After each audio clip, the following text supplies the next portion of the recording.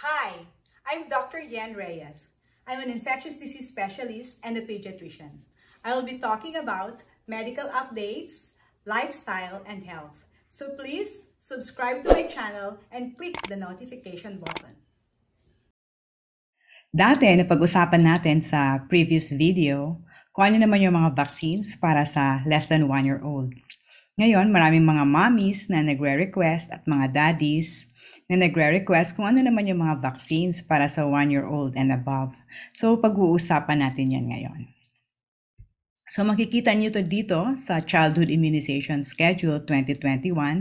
So by ano siya, by weeks first, tapos by months. So pag napapansin niyo dito yung 12 months. So pagdating ng 1-year-old, pag naalala niyo yung mga vaccines na kailangan ng bata ay number 1, chickenpox, number 2, hepatitis A, number 3, MMR. So usually yung mga vaccines na yan, live vaccines yan, although meron namang available na hepatitis A vaccine na inactivated vaccine. So yun naman, pag inactivated, two doses kahit 6 months up to 1 year yung pagitan. Pero yung live vaccine ng hepatitis A, pwede na siyang one, one dose. Pero usually, pag ang live vaccine ng hepatitis A, binibigay siya sa 1 year and 6 months. Pero yung inactivated na hepatitis A, 1 year old, pwede na siyang ibigay. So at 1 year old, hepatitis A, MMR, and chickenpox. Pag napapansin nyo dito, 18 months. 1 year and 6 months na si baby. So ano naman yung mga vaccines na ibibigay pag 1 year and 6 months? So, doon na natin ibibigay yung booster. Booster ng, di ba nagbigay tayo ng DPT polio hib hepatitis B. 6 in 1 or 5 in 1, binibigay natin sa 6, 10, 14 or pwede natin siya ibigay ng 2, 4, 6 months. Pero pagdating ng 18 months, ayun na yung first booster niya. So, pang-apat na beses na niya mabigayan ng DPT, polio hib, at saka hepatitis B. Pang-fourth dose niya, yun yung first booster. So, pagdating din ng 18 months or 1 year 6 months, pag mapapansin niyo dito, PCV, pneumococcal conjugate vaccine. Bibigay din siya as a booster. So previously, may, at bago mag 1-year-old, nabigyan na rin siya ng 3 doses ng pneumococcal conjugate vaccine. Pagdating ng 1 year 6 months, isang dose pa. Pagdating ng 2 years old, pwede natin siyang bigyan ng typhoid vaccine pero optional siya. Kasi yung typhoid usually sa pagkain siya nakukuha. Tapos pagdating ng mga 2 years old, yung mga bata na yan, mahilig na yan ng kumakain ng kung ano-ano. So pwede na, pag ma, nang, nanghihingi na yan ng mga street foods, minsan hindi yun napapansin, nabibigyan ng ibang tao. So yung para ma-prevent naman yung typhoid, 2 years old, pwede na siyang bigyan ng typhoid vaccine. Tapos after that, yung mga catch-up immunizations na hindi nyo naibigay sa kanila dati, pwede nyo rin siyang ibigay. Tapos yung next na punta noon, yung yearly flu na. Kasi every year, dapat may flu vaccine tayo. Tapos yung ano, pagdating ng 4 to 6 years old, yun naman yung second booster na. Ito napapansin ito sa line na to, 4 to 6 years old, booster na siya ng tetraxine or DPT polio. So, tetra kasi apat na lang. So, 4 in 1, DPT polio. Tapos, pag nabigyan naman siya ng 1-year-old ng MMR at saka chickenpox, yun naman yung booster dose ng MMR at chickenpox. Pag napapansin nyo, ang flu vaccine every year binibigay. So, pag first time, para sa mga 6 months hanggang 8 years old, 2 doses, 1 month apart. Pero pag 9 years old and above na, yearly na lang siya binibigay.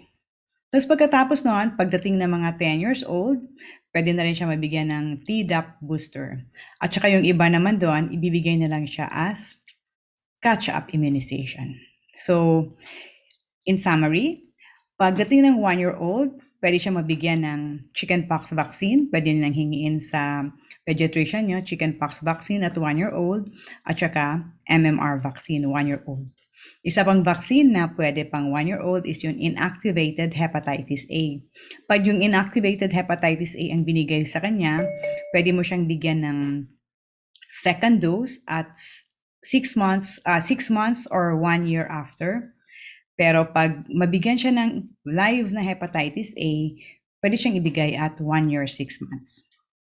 So, ang balik niya is pang yearly flu na. So, if you remember yung flu vaccine, basta 6 months hanggang 8 years old, 2 doses muna siya.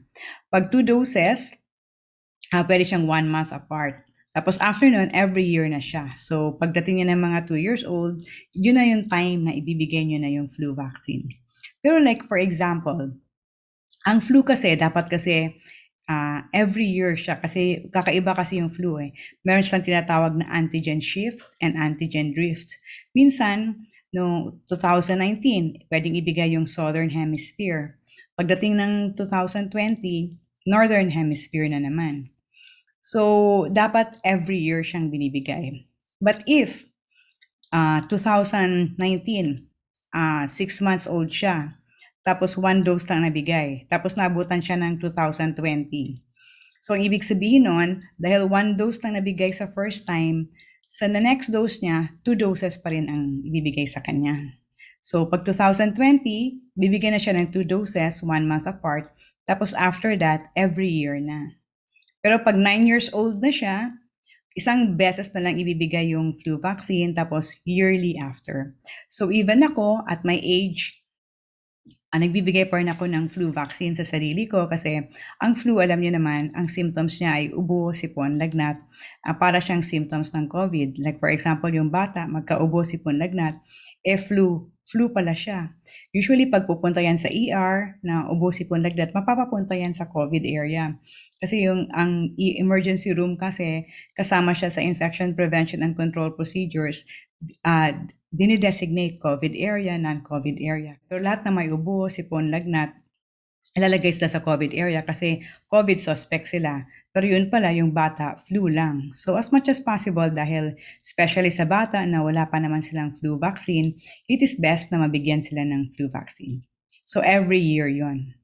Tapos, yung 1 year 6 months na pinag-usapan natin, bibigay yung 6-in-1 booster at saka pneumococcal conjugate vaccine. Tapos pagdating ng 4 years old, pwede na natin ibigay yung chickenpox vaccine at saka MMR vaccine. Pero hindi necessarily, like for example, may outbreak. Ang MMR kasi dapat maka 2 doses siya. So, kung may outbreak, hindi kailangan maghintay ng 4 to 6 years old para mag para mag-MMR. Pero kung may outbreak, pwede mo nang ibigay yung MMR kahit one month after, four weeks apart. Ang chickenpox naman in an ideal case, one year old at saka four years old. Pero kung nagmamadali yung bata, pwede din naman siyang ibigay three months. Three months ang pagitan. Okay? So for now, yun na lang muna pag-usapan natin yung other other vaccines pag-uusapan natin sa next episode. So if you want, you can comment if you have any other questions to request for other videos that you want. And if you like this video and we will give be giving good information, scientific information based on science to combat misinformation. So I hope that you can subscribe and click the notification button.